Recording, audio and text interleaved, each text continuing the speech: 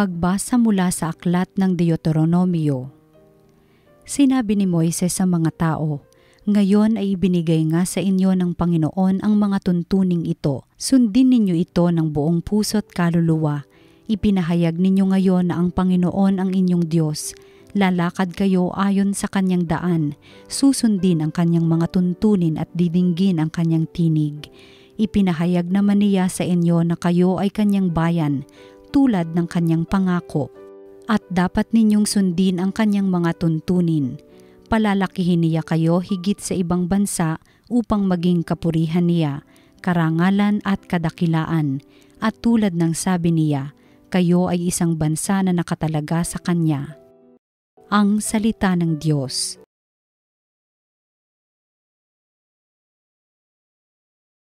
Mapalad ang sumusunod sa utos ng poong Diyos.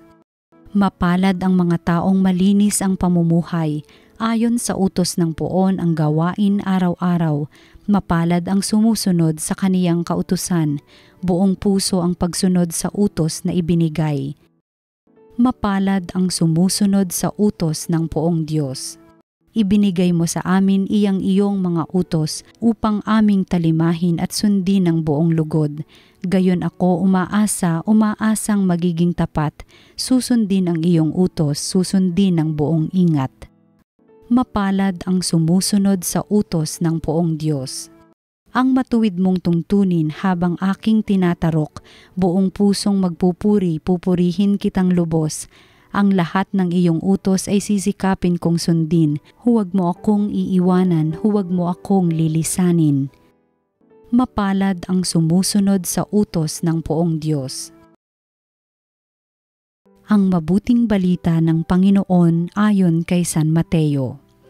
Noong panahong iyon, sinabi ni Jesus sa kanyang mga alagad, Narinig na ninyong sinabi, Ibigin mo ang iyong kaibigan at kapuotan mo ang iyong kaaway. Ngunit ito naman ang sabi ko, Ibigin ninyo ang inyong mga kaaway at idalangin ninyo ang mga umuusig sa inyo upang kayo'y maging tunay na anak ng inyong amang nasa langit, sapagkat pinasisikat niya ang araw sa masasama at sa mabubuti, at pinapapatak niya ang ulan sa mga banal at sa mga makasalanan. Kung ang mga umiibig sa inyo ang siya lamang ninyong iibigin, ano pang gantimpala ang inyong hihintayin? Hindi ba't ginagawa rin ito ng mga publikano? At kung ang binabati lamang ninyo'y ang inyong mga kapatid, ano ang nagawa ninyong higit kaysa iba? Ginagawa rin iyon ng mga hentil. Kaya, dapat kayong maging ganap gaya ng inyong amang nasa langit. Ang mabuting balita ng Panginoon pinupuri ka namin, Panginoong Heso Kristo.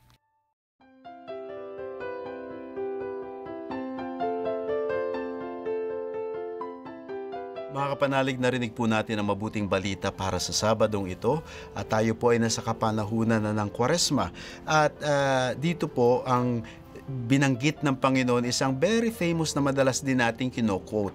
Ayun ay yung mahalin mo ang iyong kaaway, ipagdasal mo ang mga taong tumutuligsa sa inyo. Uh, maganda pong pakinggan pero alam po nating hindi po madali yan. Lalo na po kung tayo ngayon ay may kinikim-kim na sama ng loob o na naka-experience tayo ng hindi maganda ng ibang tao o masasabi nating meron kang kaaway ngayon. No, paano ba natin mapapractice itong uh, sinasabi ng Panginoong mahalin mo ang iyong kaaway? Alam niyo po ang isang pagiging Kristiyano ay hindi lamang isang ordinaryo, no? Yung standard, usual lamang, no? Kung ano ang damdamin ng isang tao para magpakatotoo kasi yung pagkatao, alam niyo po ang pagiging isang Kristiyano ay talagang nasa ibabaw pa ng ating pagiging tao. Kung ang tao ay nagagalit at gumaganti, an eye for an eye, a tooth for a tooth, ubusan ng lahi. Yan ho ay sabi natin natural lang dahil tao. Ngunit ang maging isang tagasunod ni Kristo, ang maging isang Kristiyano, ay umaakyat pa. It transcends, ika nga, no, uh, over and above the ordinary human being. Kaya nga po hinihingi sa atin ng Panginoon, kahit may kaaway ka, mamahalin mo pa rin. Ay naman pong pagmamahal ay hindi naman ibig sabihin na uh, eh, ka nga, eh, ibubuhos mo na uli lahat ng pagtitiwala. Eh kung ikaw ba naman ay niloko o halimbawa ikaw ay pinagnakawan, ay wag mo na uling iiwanang bukas ang iyong pintuan o wag mo nang iiwanan kung saan-saan ang iyong bag. Dahil uh, kapag ganun, eh baka naman abusuhin ka. Uh, ngunit yung pagpapatawad natin, yung pagtanggap natin sa ibang tao bilang isang Kristiyano, yan yung mark of excellence natin bilang isang Kristiyano. No, kung magagawa natin 'yon, no, ay mas siguro maisasabuhay natin ang damdamin, kalooban at kaisipan ng ating Panginoong Kristo. Not easy, pero possible.